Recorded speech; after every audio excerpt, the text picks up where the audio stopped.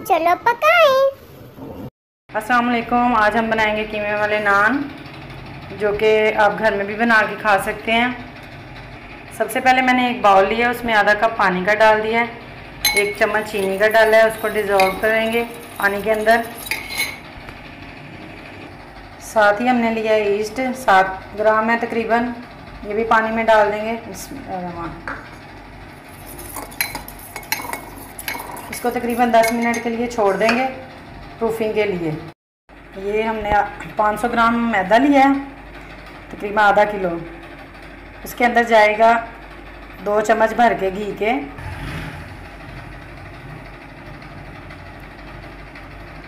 दो चम्मच घी के गए हैं।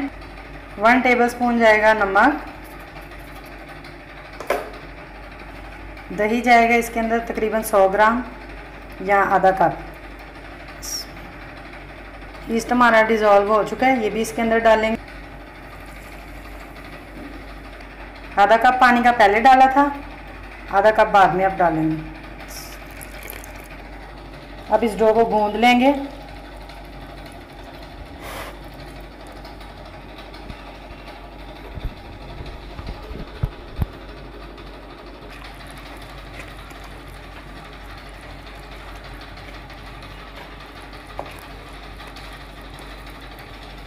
इसको आपने अच्छी तरह गूंद के तो इसको आधे घंटे के लिए हम छोड़ देंगे ताकि ये थोड़ी सी प्रूफ हो जाए।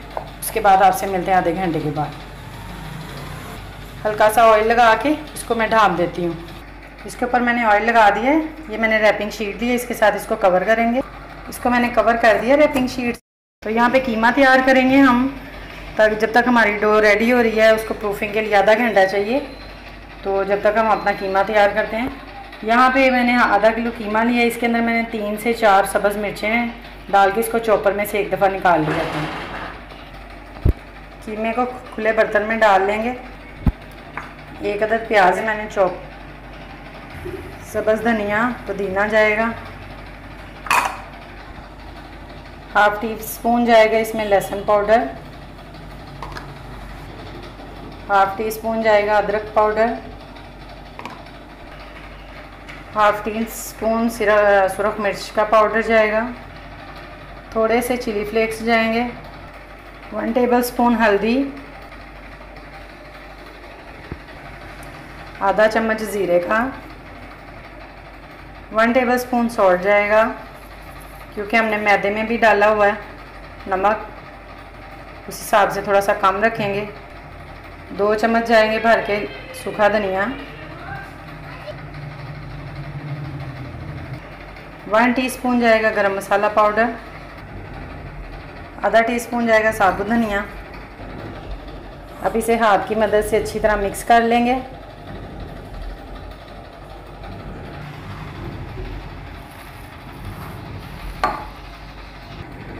देखें कीमा सारा हमने मिक्स करके रख दिया अब जैसे ही डो हमारी प्रूफ हो जाएगी तो फिर हम उसे जो है ना, नान रेडी करेंगे उससे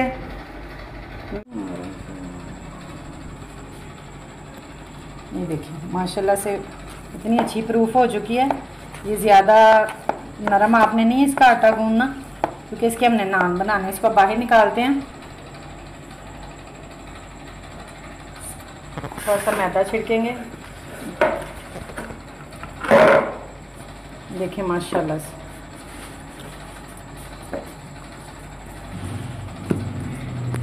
ये ये देखें, कितनी अच्छी प्रूफ हो चुकी है। अब इसके पेड़े बना लेंगे।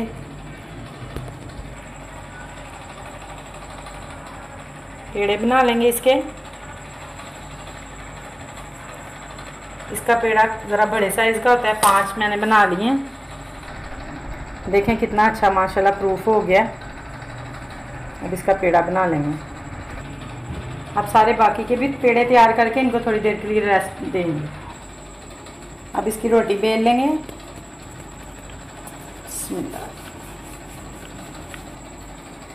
पेड़े को बेल लिया।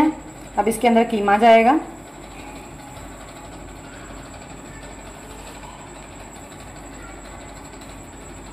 अब साइडों से पकड़ेंगे इस तरह।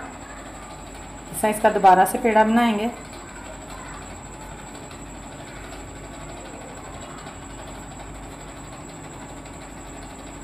अच्छी तरह आपने इसको बंद करना है। ताकि बिल्कुल खुले ना, कीमा बाहर ना आए आपका। अब इसको हम बेल लेंगे नान को। दोनों तरफ़ से बराबर आपने बेलना है। ताकि सिर्फ़ एक साइड आपकी मोटी ना रह जाए। सारी साइडें आपकी इक्वल होनी चाहिए। ये इसको हाथ की मदद से आपने इस तरह इसके कोने बना लेने। किसी भी चम्मच की आप डंडी ले लें, उसके साथ हम इसके ब्लॉक्स बनाएँगे। इस तरह। एक जैसे बिल्कुल। इस तरह। ये एक, मैंने एक अंडा लिया इसके अंदर थोड़ा सा दूध शामिल करेंगे। दो से तीन चम्मच। इसे नान के ऊपर लगाएँगे। कलर बहुत अच्छा आएगा नान का।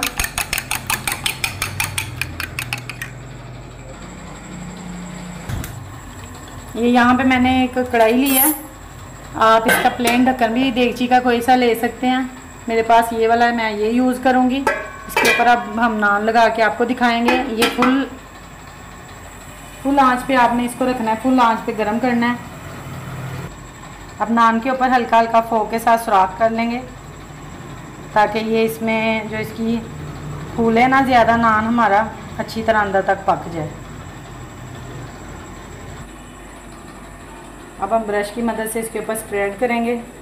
अंडा।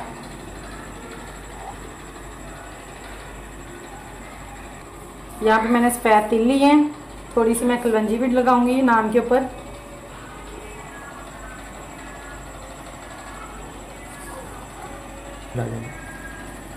हल्की सी कलवंजी भी डल लगाएँगे। कढ़ाई हमारी फुल गर्म हो चुकी है। अब सबसे पहले नान के नीचे पानी इसको बहुत एहतियात के साथ आपने उठाना है नान को हाथ पे, ऐसे। अब ये ढक्कन लिया है, फुल गर्म है। नीचे रख के बहुत एहतियात के साथ आपने लगाना है, इसको नीचे रखेंगे। ये देख, बिस्मिल्लाह। ये हमारा नान इसके साथ चिपक चुका है। अब इसे वापस देगची के ऊपर रखेंगे। ये देख। डालना ये देखें। फुल ये जब ऊपर से पक जाए तो उल्टी साइड को आपने थोड़ी देर के लिए, दो से तीन मिनट के लिए एहतियात के साथ उल्टा ढक्कन रखना है, ताकि नीचे से भी अच्छी तरह हमारा जो नान है, वो तैयार हो जाए। ये देखें। माशाल्लाह माशाल्लाह। अल्हम्दुलिल्लाह, हमारा नान बिल्कुल पक कर तैयार हो चुका है। आपने मेरी रेसिपी को ज़रूर फॉलो करना है। अब आपको किसी चीज़ की टेंशन लेने की ज़रूरत नहीं है कि ओवन नहीं है आपके पास, आप कैसे नान बनाएँगे? देखें, माशाल्लाह से कितना अच्छा रेडी हुआ है। अब मैं बाकी के लिए बना के नान आपको फिर दिखाती हूँ। ये देखें, माशाल्लाह से, अल्हम्दुलिल्लाह देखें, दोनों साइडों से कितना अच्छा पक, कुक हुआ है। आपने ज़रूर ट्राई करना है। इसके ऊपर अब मैं बटर लगाऊँगी और बाकी के नान बना के फिर आपको दिखाती हूँ।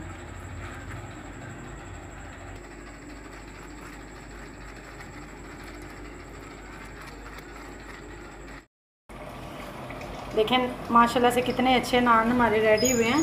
लेकिन इस काम को आपने बहुत ही एहतियात के साथ करना है, क्योंकि ये कढ़ाई बहुत ज़्यादा गर्म हो जाती है। देगची जो भी आप लें, उसके ढक्कन को बहुत एहतियात से खाना है। देखें माशाल्लाह, और मेरी रेसिपी को ज़रूर ट्राई करना है और मुझे फ़ीडबैक देना है। कैसी लगी आज की रेसिपी आपको? बताना मत भूलिएगा। अल्लाह हाफिज़। अरे वाह!